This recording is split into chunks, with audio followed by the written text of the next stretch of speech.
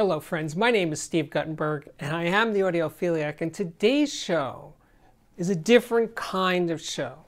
It's more of a news show than a reviews or thought piece or anything like that. No, it's about two pieces of news from Schiit. S C H I I T. But the first piece of news is that Schiit, which was founded in 2010, Schiit is going to change their name.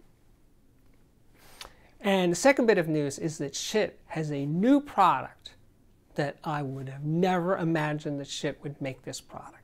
It's just so off the charts. It's just so not what they do or what they're known for. So that's really cool. But as for the name change itself, I'll just get right to it. The company, formerly known as SHIT, will now be known as just S, the letter S which is a particularly good move because their logo, which always looked like this, can stay just like that. Just the letter, a stylized S. So yeah, like I said, I go, I go way back. I go back to the launch of the startup shit at, I'm pretty sure it was Rocky Mountain Audio Fest in 2010. And they were, shit was, the talk of the show. Because everyone was walking around saying, did you hear about that Schiit? What crazy idea to, to call a company shit? That's a terrible name. Why would anybody buy a product named shit? And then all the puns and jokes. Oh, it's it's uh, sounds like shit. It's the best shit. It's awesome shit. It's hot shit. All that stuff that I admit to have used many many times over the, these years since 2010 when I started reviewing shit. So yeah, I've had my fun, and so has shit. But I think, you know, they've grown up and they said essentially enough is enough. We're just going to yeah, because they've been getting, oh, I've been getting uh, in the comments for my reviews, people saying, it's a terrible name, I would never, yeah, and all that stuff, people complaining in the comments. And I'm sure the people at shit have had way more complaints about it. And they thought, okay, okay, okay, we're, gonna, we're just, we're going to be adults now. And we're just going to call our company the S Company. So let's see how that flies, you know? I mean, it makes a difference. It's about the it's about the products they make, the quality of their products, the innovation in their products.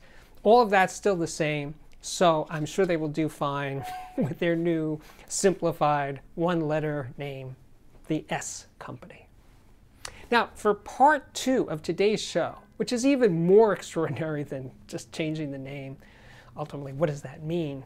But the product that they're doing is a surround sound processor. Yeah, wow. Oh, it's not just a processor. It's also a DAC, it's also a preamp, it's also a headphone amp. But it's the surround sound processor, unlike any other. First of all, it doesn't have Dolby, doesn't have DTS, doesn't have Atmos, doesn't have any of those things. No Dirac, none of that stuff. No, it, what it is, is it's a two-channel, stereo, two-channel to multi-channel converter. That's it. So in other words, you hook it up. Let's look at the back panel. And by the way, this isn't, this isn't a review. This is more like just a product announcement. So let's look at the back panel and you'll see the inputs. The inputs are an optical input, Toslink optical input, USB, and also stereo left and right analog inputs, two stereo RCA analog inputs. And as for the outputs, all RCA there's stereo left and right, center channel, left and right surround, and also a subwoofer output. That's pretty cool.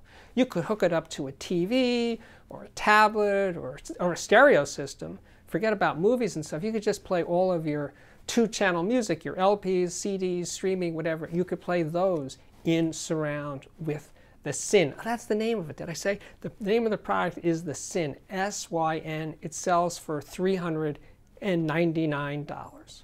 I, I think there's a market for something like this because I, I know that in my uh, home theater reviewing days that a lot of people just played their two-channel music in all-channel stereo. That was, that's a popular way of listening to music for people that have AV receivers. And I think that that makes sense for people that are into pretty much two channel audio that they would want to hear it filling the room more. So having left, center, right, and surround channels and subwoofer. Um, yeah, I, I don't. I, you know, it's not something that I would do. I admit I'm a pretty hardcore two channel stereo guy. I don't particularly like mono. I'm not a big fan of surround sound, but I understand there is definitely a market for it. And by the way, when you listen to the SYN processor strictly in two channel, it remains 100% analog and fully discrete. So I, I applaud uh, shit or S for bringing this out. It'll be interesting to see the, the market acceptance of something like this. I, I think it has a good chance. I do because it's the right price. It's not expensive. And you know, it reminds me in a way of when they brought out their first uh, equalizer, which was a category that most high-end companies and audiophile-oriented companies completely ignored, making equalizers. And they brought out that first little one, the Loki, and it was a smash hit. I mean, so many people bought them that I know personally that say this is one of the best things I've ever gotten because you can just tweak the sound of your system to your heart's delight. And I'm pretty sure that a lot of people who buy the SYN surround processor will be probably using it with the Loki so they can tweak and tweak and tweak and adjust the sound to their liking. So my hat's off to the people at, well, S or shit or whatever it is. Okay, uh, okay, okay, okay. This is just an April Fool's. Well, the name change from shit to S, that's the April Fool's. That's just me having some fun. on April Fool's Day.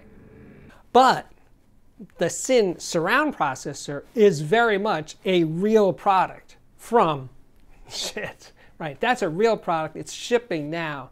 And as I said earlier, this isn't a review. This is just a product announcement from me.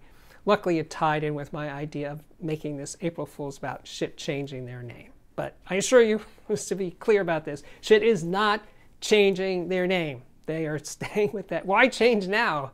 You know, when I do uh, viewer systems of the day, it's amazing how much shit people have out there. It's hugely popular company for good reason. They make great stuff at very affordable prices.